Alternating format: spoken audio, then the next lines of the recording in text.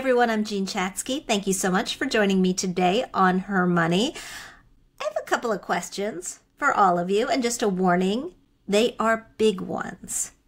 Have you ever wondered how you'll look back on your life when you're at the end of it? Do you think you'll be happy with the choices that you've made regarding your career, your relationships, and your money? Is there anything you might regret?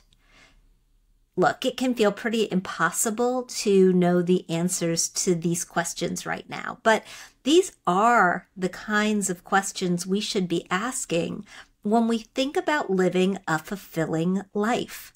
We want to know that we've left the world a little bit better off than it was when we came into it. But sometimes we feel stuck. And more and more people are saying they are not happy. They're unhappy, for example, with their jobs. Gallup found 60% of people feel emotionally detached at work, 19% say they are miserable. Inflation is still cutting into our paychecks and credit card balances are at a record high. 65% of people feel that their financial difficulties are piling up so high they can't overcome them. That's according to some research by Discover. And all of this can feel overwhelming. It, it may just seem like there's no room to think about the bigger picture, but what if there was? What if there was a shortcut? What if you could somehow know, or at least try to put a finger on your bigger? What if you could somehow know, or at least try to put a finger on your biggest regrets now and change your personal life and your financial life for the better.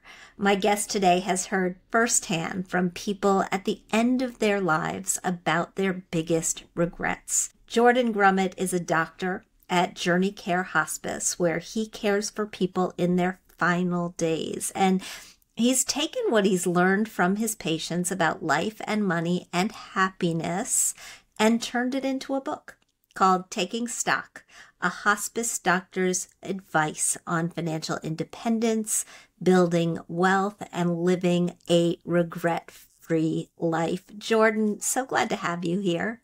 Jean, I'm so happy to be here with you today. I'm really looking forward to this discussion. Yeah, we've all been looking forward to it as well. I- would love to hear a little bit about your journey to working in hospice care. Um, I, I have to imagine that was not an easy choice. It was not an easy choice, but it was a natural choice. My father died when I was seven years old. He was a doctor like I am. He was an oncologist, which means he dealt with cancer patients. And when he died, I was seven and I didn't know how to process that. And there weren't a lot of people in my life who could say, okay, this is what this feels like. This is what you can do. There were few people there to really comfort me other than family and friends who had never really gone through that before. So when I eventually decided to become a doctor like him and went to medical school, one of the first things I did was volunteer in a hospice unit. My first week of medical school, I went up to the hospice unit at Northwestern University and started to volunteer there. And it just felt very natural because I felt like I had this connection to other people going through this. I didn't get to see my father die. I didn't watch the process because A, I was seven years old, and B, he died very quickly. But by being with other people who were going through that, I felt like I had something to add or I had a connection with them. But just like everything else in life, I didn't really listen to my deeper sense of purpose this is probably what I should have done from a living from the beginning of my medical career. But of course, I eventually moved on from hospice. I did general medicine, and it was only later on in my career where I came back to it and started practicing hospice medicine again. What what made that happen? I, I mean, I know you were a full time internal medicine physician. You owned a private practice. You you walked away from that business. I did, and so interestingly enough, it was actually starting to think about my finances that brought me back to hospice. I got to this point in medicine where I was starting to burn out between the electronic medical records, the issues of compliance, and then just the overall sickness of my patients. I was taking care of nursing home patients. Even though as a general internist, I wasn't a geriatrician, the truth is, most of my patients were 70 and older. I was dealing with death and dying all the time. I was starting to really burn out, and I started to look for ways to supplement my income because in the back of my brain, I realized that I couldn't do this forever. So I started to think about how can I start making enough money to have a big enough nest egg to either step away from medicine or decrease my time in medicine. And part of that was what I call medical side hustles, right? There are all these things you can do when you have your practice, but there are nursing homes that need medical directors, there's hospices that need medical directors. So I was taking care of an ill and dying patient. And I had called the hospice to come see this patient. The hospice nurse came in and said, Boy, you know, you put the patient on all the right medications. You've already had all the right conversations with the family. You know, why don't you come work for us? And so I started it almost as a medical side hustle. I would work as a medical director, maybe spend 10 hours a month doing that. I'd get paid a stipend for it. It was a good way for me to earn some income outside of my practice. But it also brought me back to what I started with in medicine, which was volunteering in this inpatient hospice, and reminded me what practicing medicine with purpose really felt like. Because at some point in my career, I didn't feel like what I was doing was as purposeful as when I had started. And hospice brought me back to saying, oh, yeah, that's why I went into this field in the first place. In, in writing the book, I know you've talked to many, many patients throughout your career before and after you transitioned to hospice. What, what are the biggest regrets that people have regarding money and, and life? it's funny because what they don't regret is that they don't regret that they didn't make enough money. Like no one comes to me on their deathbed and says, "You know, doc, I really wish my net worth hit that 1.5 million mark because I, I you know, I got to 1 million, I never got to 1.5." No one says that. No one says I wished I worked more nights or weekends what people tend to regret are those things that were really important to them that they never had the courage to pursue. And I think that's a big point here. Not what they succeeded or failed at, it was what they didn't have the courage to do.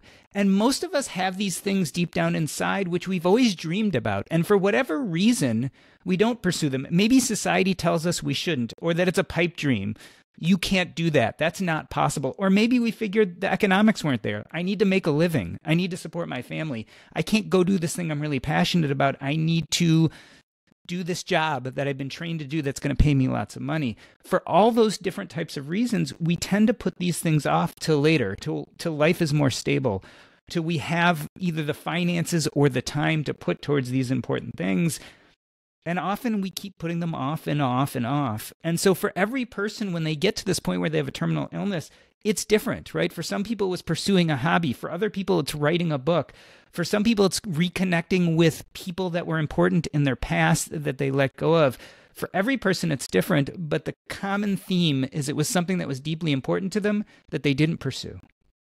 You write in the book that money is not a goal that it's a tool, which is, by the way, something that we say on the show all the time, right? That's how we should think about money. It's a tool to accomplish the things that you want to accomplish in your life. But there's one story that you tell in the book.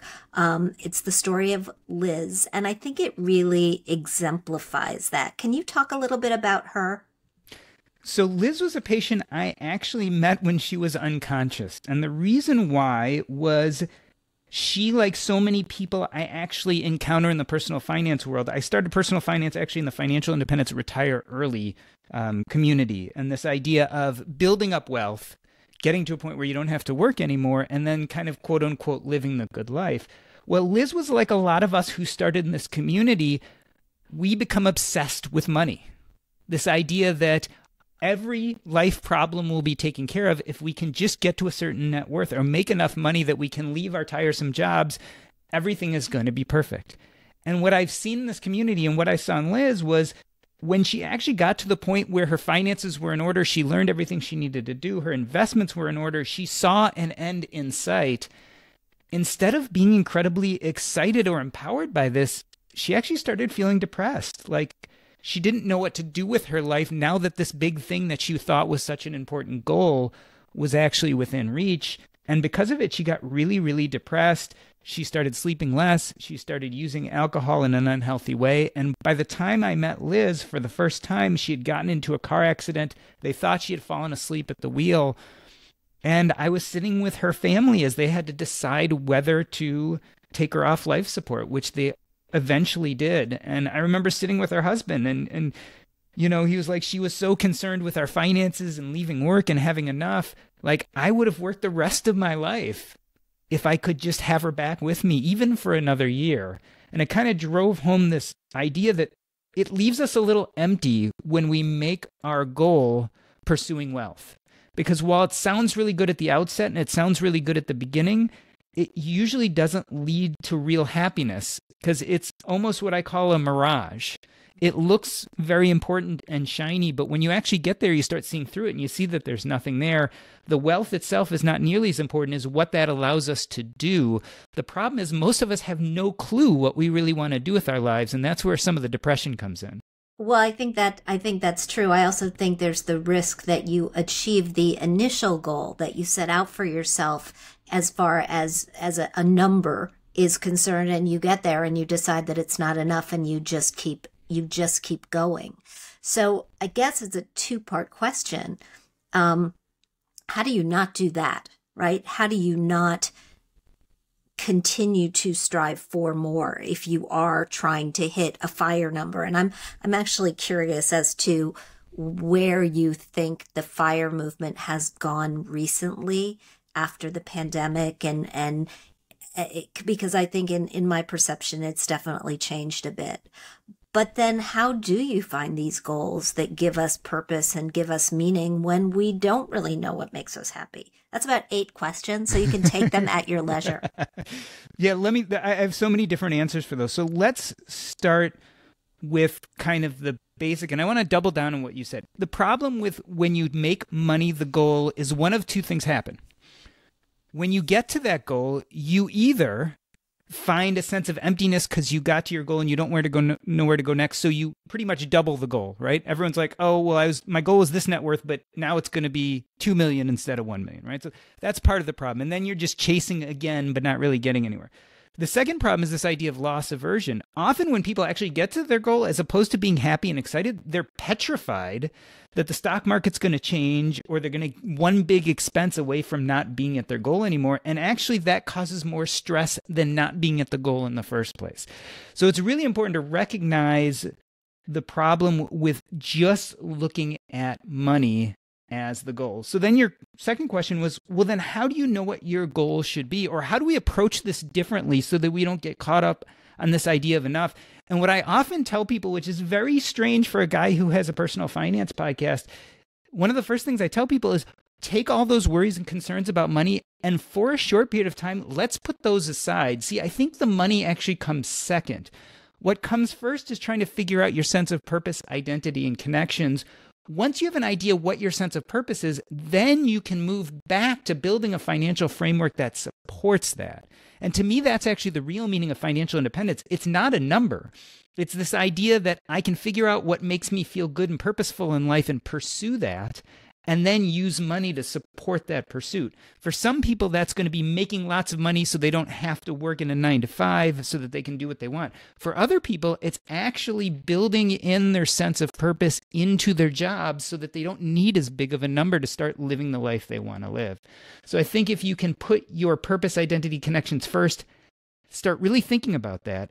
And then bring in this idea of building a financial framework, which I think everybody should do it can support us. I've read these mm. studies, right, on the difference between a job and a career and a calling. And and a purpose having a having a life with purpose at the center where that purpose is tied to work it, it, generally borders at least partially on on a calling and a calling doesn't have to mean that you're saving the world, right? Uh, the, the, this research, or at least this body of research, shows that they they studied custodians in hospitals and found that the custodians who said they were taking care of their pa- of of patients, helping take care of patients rather than wa- washing the floors and emptying the trash. The the ones who felt this connection to the greater mission for them, it was a calling. And for the ones who are emptying the trash, it was not. So I, I mean, my, my question is if you don't find purpose in what you're doing today, how can you find purpose in your current pursuit if you don't want to switch or switch to something that eh, lights you up a little bit more? So I think there are a few answers to this question. One is I think we get caught up on this, you know, capital P purpose. And sometimes I think we have to start thinking about the small p purpose, which means that probably for many of us, there are multiple purposes. Some are more important than others, and some will take up more of our time and some will take up less. So the bigger question is well, how do we start figuring out what those things are so that we can live that life, whether economically or not, of purpose? I think there are a few ways to do this. This is where dealing with dying patients really helped me. So when we in hospice sit down with a dying patient, often we look at their symptoms, right? Control their nausea and their pain. We make sure they're in a safe environment and that their family's present, those kind of things.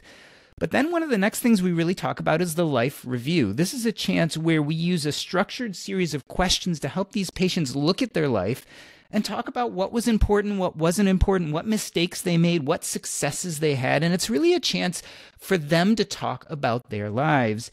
The big question is why don't we do this in healthy people every year? The idea of doing a structured life review helps us look at what we accomplished and didn't, what our biggest dreams and goals were, what we were always afraid to do but really wanted to. The easiest way to take a life review and bring it into one sentence, and I do this in the book, is I say, Imagine that you're on your dying bed and you were just told you have a terminal illness what do you always wish you had the energy, courage, or time to do, but you never pursued it? And I think that's like a big question. This is not something you answer today or tomorrow. This is really something you sit with. But by doing these type of exercises, by doing a life review, you start looking and saying, okay, what are those things that I dreamed about when I was a kid that everyone told me I couldn't do, right? What are those relationships that were important to me that really meant something that have fallen to the wayside? What are those hobbies, those things that I do that I feel most alive while doing, but I never seem to have enough time? What are those dreams that wake me up in the middle of the night and I'm so excited I can't go back to sleep because it's a big idea that I'm really passionate about. And by the time you wake up the next day, you've let it go because it was just a dream. It was just something in the middle of the night. None of this is perfect, but this is a beginning to start thinking about what are those things that really drive me? And if there were no rules, if I didn't have to worry about to make a living, if I didn't have to worry about what society would say about it, most people, when you really get down to it, have these deeper inner secrets, these things that are really, really important to them that often they've never had the courage to talk about. And there's lots of reasons why they don't have the courage to talk about it. One, like I said, is maybe it, it goes against some of what society expects of them or their family expects of them. My theory actually is these things deeply scare us because they remind us of our own mortality. When you really start pulling everything away and looking at what your real sense of purpose is, what you really feel like you were meant to do in the world, that's a really scary thing. We're afraid of failing. We're afraid of the deeper, harder work it's going to take to do that. So it's much easier to push it aside and say, I don't have time for that. I need to make a living. I need to build a net worth. I need to do whatever it is that you put in front of this thing. Um, I think we do that. And even if you still do all these things, if you practice the life review, if you ask yourself that question and meditate on it and still find nothing, that's when you go to the old tried and true throwing the spaghetti against the wall. That's when you start saying yes to things you normally say no to. You know, get yourself out there, volunteer, join groups, meet new people, put yourself in situations that might feel uncomfortable and see what sticks. And it doesn't have to be a perfect fit. The point is, a lot of us are wandering this world either working ourselves to death or decompressing from work and we're not spending any of our real valuable time doing those things that are important to us if some of these exercises help you find something that feels a little more purposeful, even if it's not your life journey, but you can start filling some of that limited time you have with some of these more purposeful activities, I think you're in a better place than when you started. I, I think you're right. And I agree with you that these are very, very scary questions to ask. As you were reeling them off, I was sort of parsing them one by one, and I could feel my heart start to beat a little faster. Because these are not questions that I ask myself on a regular basis, but I think you're right. I think, um, I think we should. Of course, we still need money to make these things happen. So we do need money to make all this stuff happen, right? We need money to deal with our goals of seeing the world, spending time with family, giving back, volunteering or or giving cash to causes that we we believe in and we feel strongly about. How do we balance saving money with spending money so that we can enjoy life? So, this is why I think figuring out your sense of purpose is important because, in a sense, like I said, that comes first. And then we can start building that financial life that supports that, right? So, there's lots of ways to get to a point which is what I would call financial independence. And for me, again, financial independence is actually a life where your money supports doing things that are purposeful, that give you a sense of identity as much of the time as possible. There's lots of ways to go about that. One way is to put off purpose and identity and say, I'm going to just work really hard for the next 10 years. It's something that makes me a lot of money. I'm going to save a lot. I'm going to invest a lot. I'm going to let that money work for me. And then after 10 years, I'm going to stop and do things that are purposeful. Another way is to do the exact opposite. Say, I'm going to find a job that feels so great and this is what I want to do for a living. This fulfills my sense of purpose. And I'm going to make sure that job pays enough to support me over the next 20, 30, 40 years. I'll get the appropriate insurances, disability, life, all that kind of stuff to protect me. But otherwise, I'm going to tie my job and my purpose together. And then there's a bunch of different in betweens how you go about it's not important. What's important is that you can start bringing that sense of purpose, identity, and connections into your life, whether it's a plan for the future or to do it today. Which leads me to that very important question you just asked. Well, so how do we know whether to spend today or save for tomorrow? And I think the way to answer that is to ask yourself another question. I think there's a dichotomy there, and each person has a different answer to this. And that important question is Are you afraid that you are going to die young and wealthy and never get to use that money to do the things you want? Or are you afraid that you're going to live to a ripe old age, run out of money, and die broke? If you can ask yourself that question, we then can look at the continuum between YOLO, you only live once, and deferred gratification, which is hyper saving for retirement, and start making some real life decisions that work for different people with different values when I have this conversation, I love to talk about my father. My father, as I said at the beginning of the show, died when I was seven years old. He was 40. Now, oh, interesting I'm about so my sorry. Yeah, and and thank you. You know, I was so young at the time, but it's something I think about when I talk about these money conversations. He had this premonition he was going to die young. In fact, he told my mom when he married her, he said, "I don't think I'm going to live long."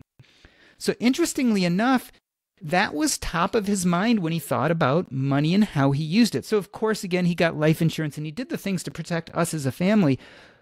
But he didn't save a huge amount of money for retirement. I mean, he was a photographer. He loved to travel. He had all sorts of passions. Like, this is a guy who pursued a lot of his purpose. In fact, when he got out of his fellowship, he was offered a very prestigious, high paying job in a private practice in oncology and he walked away from it to work at the VA which paid a lot less but he liked it more because it gave him easier hours so that he could spend time with family and pursuing all these passions of his. So if you're like my dad, you're afraid that you're going to die young and wealthy and you want to make sure you can really enjoy that money. So you probably don't save 50% of your extra money. You probably save 10% or 5% and then you probably spend the other 40 45% on YOLO. And I think if you do this, if that's your big fear, one of two things happens. Either you're wrong and you live a long life, and it's true, you've been saving less for retirement, so it's going to take you a lot longer to retire. On the other hand, you've also been spending a lot today on doing those things you love. Maybe you've been taking extra vacation time. You've been pursuing your passions using that money as a good tool. That's not a bad trade off for retiring late because you're living a pretty good life today. If you are right and you do die young, then you used your money to support you and your passions. So that's one way of looking at it. Or you could be like me who thinks they're going to live a long time. I was afraid of dying broke, so I did the exact opposite. I saved about 40% of my income and then only spent 10% on YOLO. That way I was able to get to a high net worth much faster and could back off of work and really pursue passion for the rest of the time when you are describing you, I, I, I feel like um, I feel like I'm somewhere in the middle. Actually, I mean, I I definitely have a fear of running out of money, which I know by the numbers I am not going to do, but in you know, so it's somewhat of an irrational fear, but I, I think a lot of women have that actually.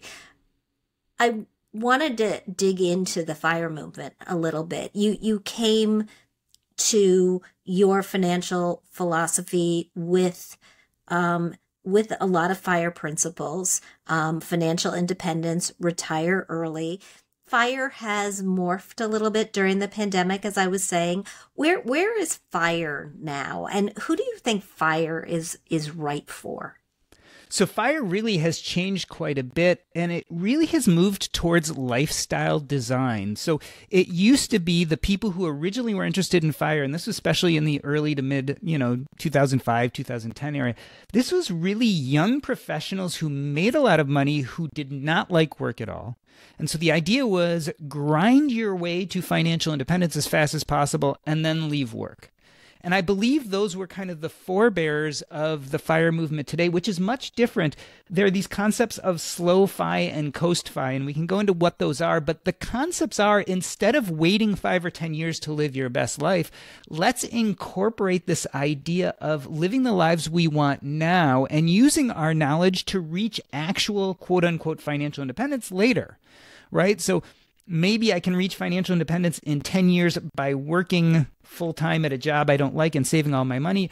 Or maybe I can work part time in that job and it might take me five or 10 extra years to get to financial independence. But in the meantime, I get to spend half my day doing what I like to do today.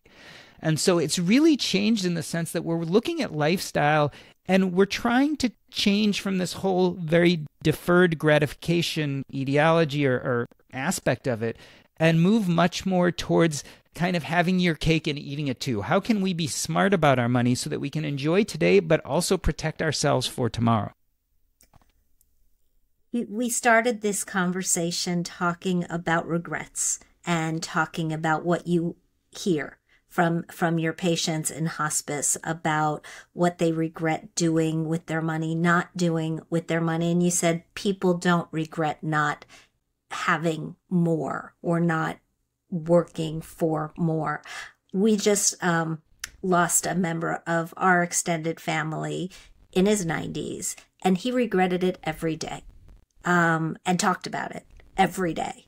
And the reason that he regretted it was that he was worried about not leaving enough for his wife and his children. I, I wonder where that fits into this, wanting to do more for the people that you leave behind and what you're hearing about the amount of support that we're giving our adult kids, our grandkids, knowing that they are coming into the working world at a very difficult time, many of them.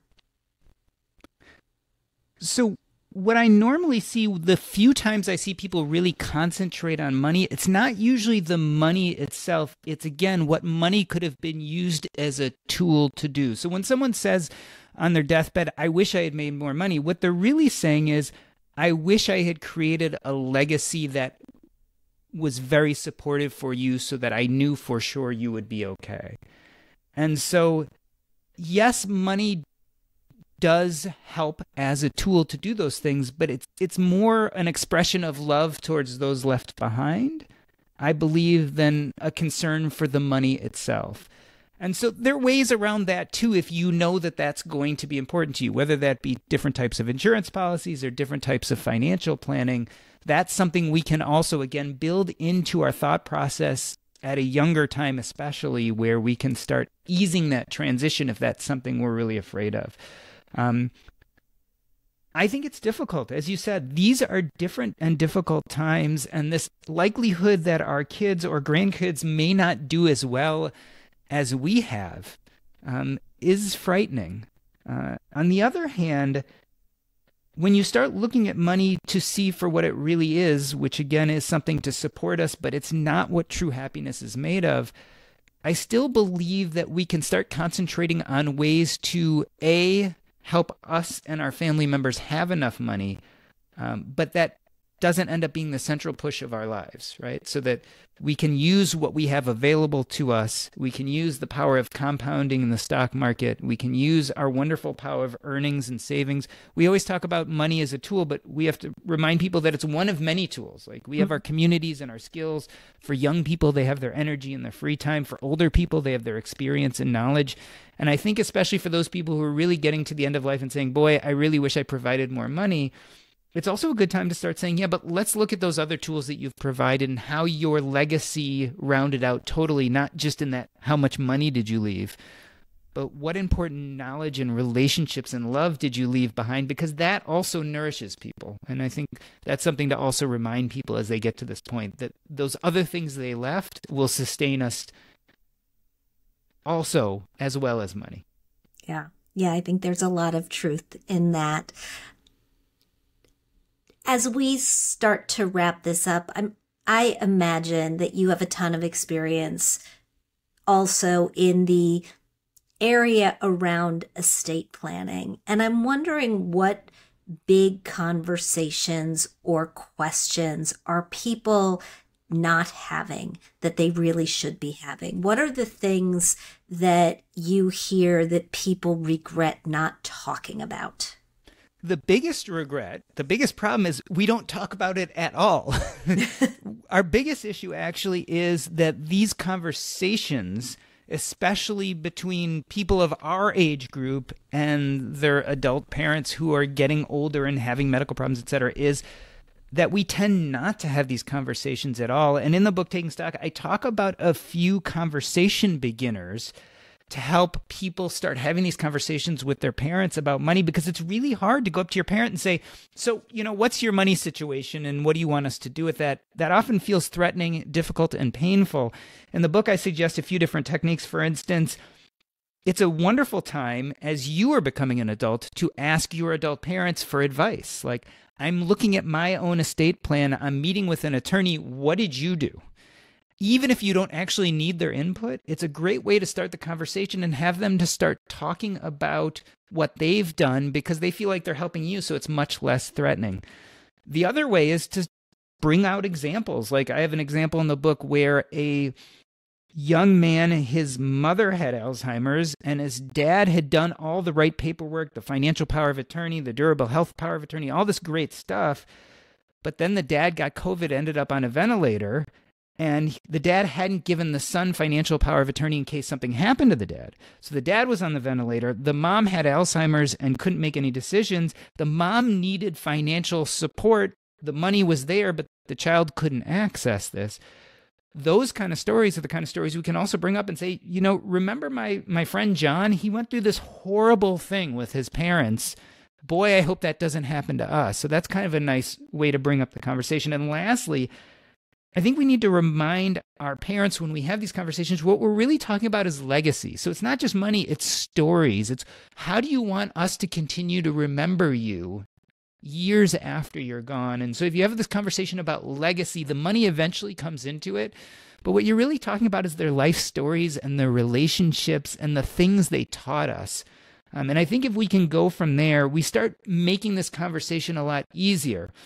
Now, when we're talking about our own security, we all need to look at an estate plan, and this encompasses both medical legal documents as well as legal and financial documents. I talk about it in the book, but we got to start looking at both of those things and we got to be unafraid to look at them now as opposed to putting it off, which it again is so easy to do because this is uncomfortable stuff. Uh, but if we want to have a an end of life for ourselves that feels like dignity, but also provide that dignity to our families that they're given the appropriate time to mourn for us as opposed to scrambling to figure out our estate and our money, which happens to a lot of people. Um, part of having a dignified life and leaving a good legacy is trying to put these documents in place to help whoever's left after we go. A hundred percent. Jordan, I know you've got a great podcast. Where can our listeners find it and where else can they find more about you? So, the easiest place to engage me and all the ways I create content is jordangrumet.com. That's J O R D A N G R U M E T.com. There you will see links to the three ways I kind of create content. One is a medical blog, which I no longer write at, but I did from like 2005 to about 2018. The link is there. There's also a financial blog called diversify.com. And last but not least, the Earn and Invest podcast, where I spend most of my time today creating uh, new content, as well as links to the book Taking Stock. Amazing. Thank you for being here. This was a pleasure. Thank you so much for this great conversation.